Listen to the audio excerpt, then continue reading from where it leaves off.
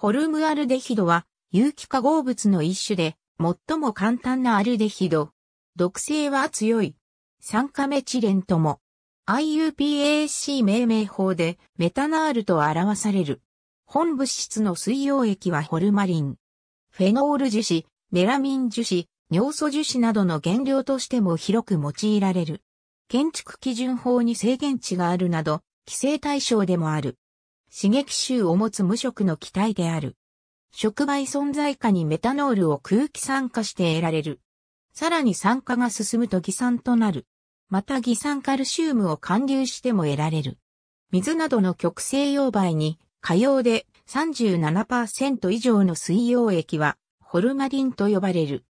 ホルムアルデヒド及びホルマリンを含む、ホルムアルデヒド水溶液は、毒物及び劇物取締法により、医薬用害劇物に指定されている。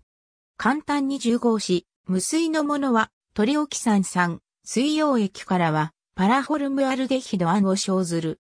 ホルマリンの2016年度日本国内生産量は98万6893トン、工業消費量は56万2782トンである。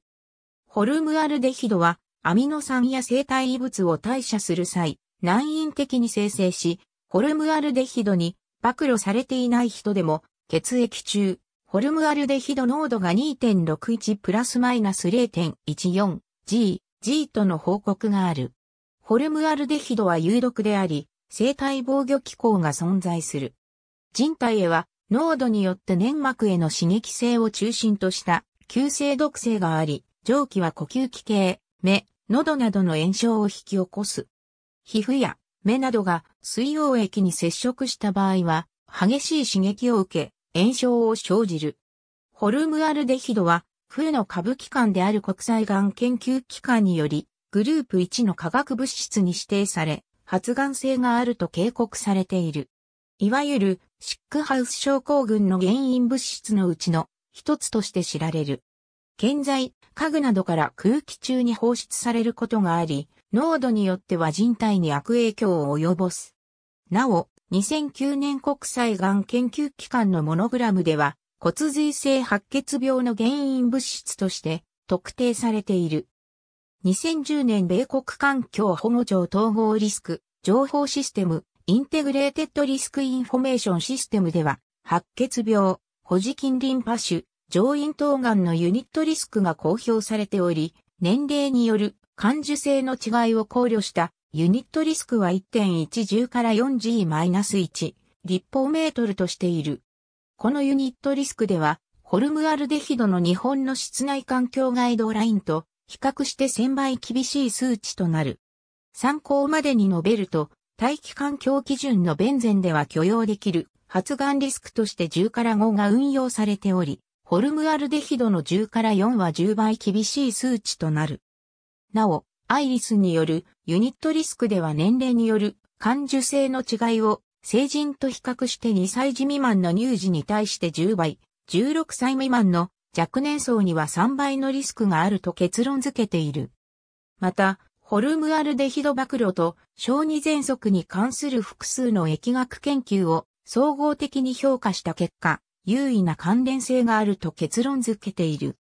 は、被暴露群に比べ4.8倍、マグウィネトール、エンビロン、ヘルスペスペクト、118,313-2011年、フランスでは、公共の保育所、学校等の指針値を、現在の 100G 立方メートルから2015年には 30G 立方メートル2023年から 10G 立方メートルとする省令が施行されている。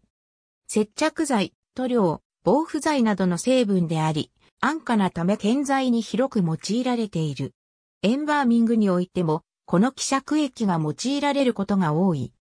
1948年10月30日から1990年11月22日まで農薬登録を受け、殺菌剤として稲の芋地病やジャガイモの黒あざ病防除に手指消毒の形で使用された。ホルムアルデビドの水溶液はホルマリン水溶液として理科室の標本として置かれていることも多い。水道水には、ホルムアルデヒドの水質基準値が存在する。また、食品衛生法でもホルムアルデヒドが規制されている。しかし、一部の魚類や椎茸など、ホルムアルデヒドが含まれている天然食材が存在する。ホルムアルデヒドは食品に殺菌等の目的で使われることがあるが、2006年に台湾行政院に衛生所が豆及び小麦粉等を原料とした中華食材に対し、特に過酸化水素及びホルムアルデヒドの使用について、抜き取り検査を行ったところ、884サンプル中110サンプルの不合格のうち22サンプルにホルムアルデヒドが検出された。いわゆるシックハウス症候群の対策として、建築基準法によりホルムアルデヒドを放散する建築材料の使用制限が設けられている。建築材料には放散量によって制限を受けない低放散量の F から内装への使用制限を受ける F までのランクがあり、ランク外のものは内装仕上げには使用できない。また、天井裏等には F 以下は使用できない。居室内の気中濃度として、風や厚生労働省により 0.08ppm の指針値が設けられている。しかし、現在のところ、性能規定や指針値を超えた場合の罰則等はない。化粧品においては、DMDM ヒガントインやイミダゾリジニル尿素を含んでいるものは、医薬品、医療機器等法及び同施行規則で、ホルムアルデヒドに過敏な方及び乳幼児のご使用はお避けください。と記載することが義務付けられている。2012年5月、利根川水系の浄水場で水質基準値1リットルあたり 0.08mg を上回る最大 0.168mg のホルムアルデヒドが検出される事故が発生した。原因は埼玉県の化学メーカーが委託した高崎市の産業廃棄物処理業者が利根川に処理水を廃棄した際に廃液に含まれるヘキサメチレンテトラミンが塩素と反応して、ホルムアルデヒドが生成されたと特定された。この参拝業者は、化学メーカーから廃液65.91トンを受託し、中間処理を施した上で放流した。